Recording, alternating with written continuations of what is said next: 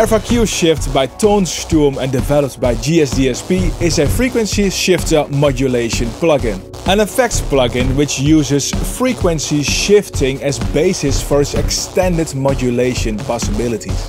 To full-on modulation effects madness. I'm Marlon and welcome to the White Noise Studio. I read the manuals so you don't have to. Speaking of manuals, in the manual, frequency shifting is explained like this. Frequency shifting is the process of shifting all components frequencies of a sound by an equal amount. If your input is harmonic, it will destroy the harmonic relationship resulting in a more unnatural sound. Non-harmonic, especially percussive sounds, are less sensible to extreme settings. Let's start from zero and build an effect. This way you can learn how the plugin is laid out and what does what. FRQ Shift features two shift engines. They can be linked together with this lock icon. The left engine will control the right engine. Here you can set the range of the frequency shift from a range of 1 Hz to a range of 5000 Hz can be selected. With the plus and minus you zoom in on what you see. It's purely visual. If you choose the lower values, you can already create pleasing sounding chorus, flanging and phasing effects.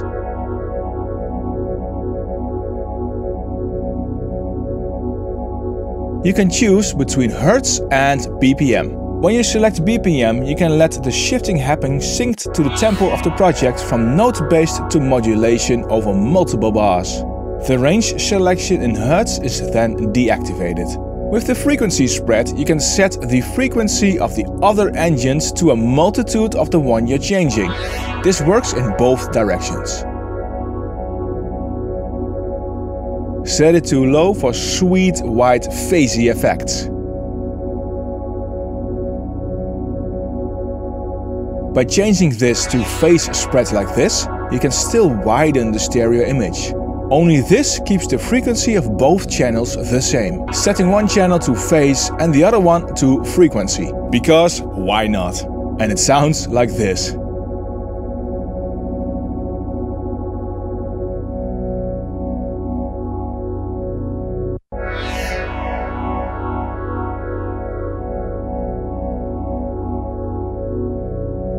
The reset knob can reset the phase of the engines when you're in Hertz mode. And you can fade between the channels with the cross-fade dial. These four here are all feedback path effects. So every one of these will feed back into the engines. Clicking on one will show a number of controls. First up is the shifter. It feeds back into the engines Below 20 Hz, it generates phasing effects. Left and right controls, phase flip, and a cross bleed regulator.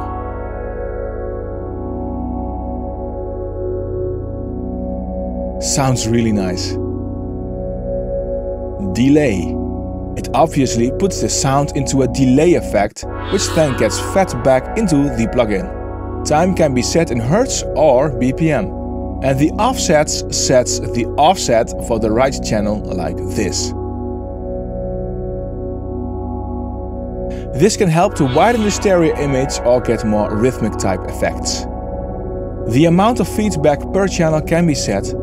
They are linkable and have a flip phase per channel. Here you can change the routing of the delay, which gives a different sound.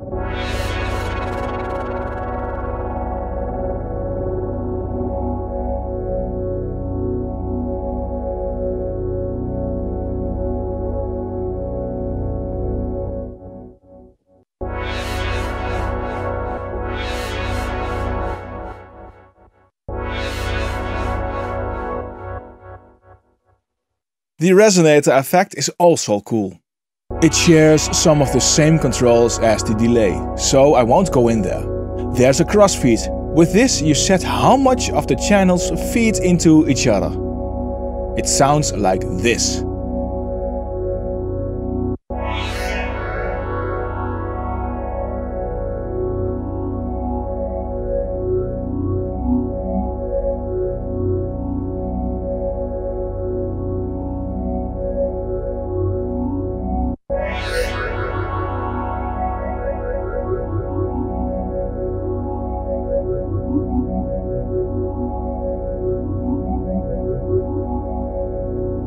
The filter is a filter. There are several band types. A frequency dial and Q control.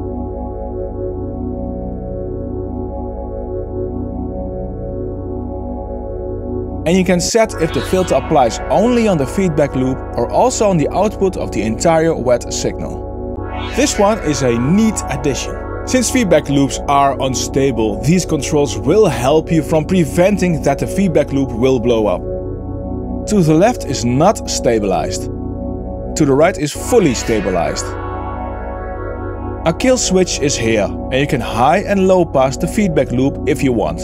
Here are an input and output gain control, the dry-wet mix control. The plugin can be switched into mid-side mode. That is very nice and opens up another palette of sounds.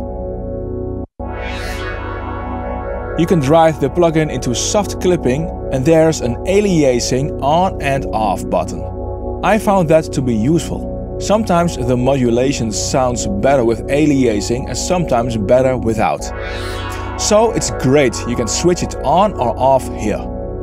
Now you can already create great sounds like this. But if you press this here, it will literally open up a new world of control. It's the modulator section. In here you can assign modulator modules to modulate several settings of this plugin. With this big plus you add one of four modules. LFO, Custom LFO, Random and Envelope Follower. Let's start with LFO. This yellow button is the Assign button. Press it and on the plugin you will see what can be assigned. Very clear and foolproof. You hover over a button or dial and you'll see these little arrows appearing. There you can set how the module will modulate that control. And when you tweak, you also see in the assignments panel what you just did and you can tweak there as well. This allows to change the behavior of the module to modulate around the setting or use it as a starting point. Very foolproof and clear. That is some nice GUI design here. And that's not all. If you press the Edit button, you can edit the LFO.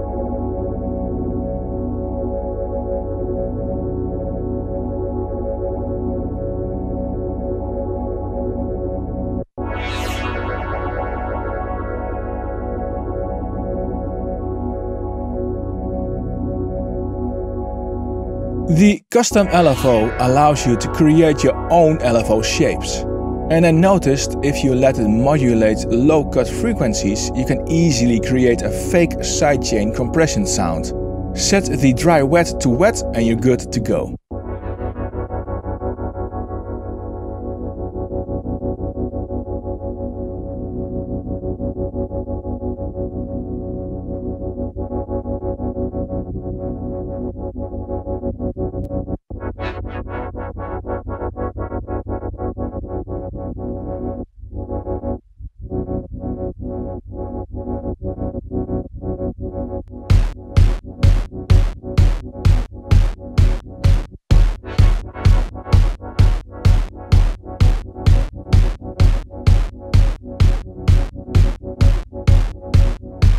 The module Random lets you assign different types of randomness with lots of tweakability again.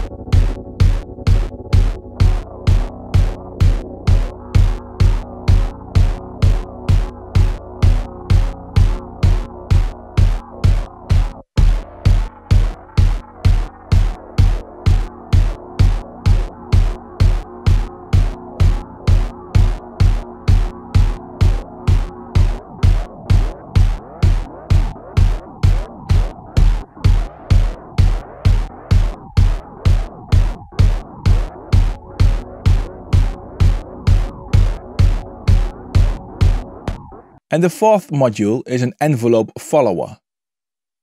Let me switch to a different sound like this bass synth. There are a lot of controls. Let me play around with them a bit.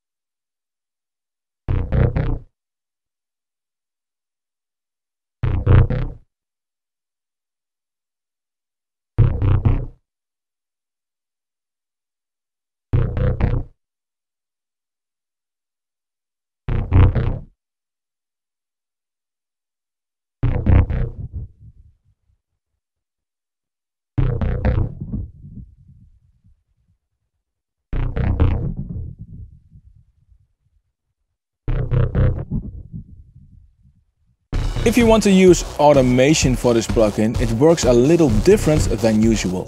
You hover over a button and you select which host slot you want, and then you can write automation. I don't know if I like it or not, but this way you don't have to go through 500 parameters in automation. You can clear assignments with the right mouse button when you hover over a control, and you can delete modules, etc. There is a sound to this plugin and I can describe it as quality.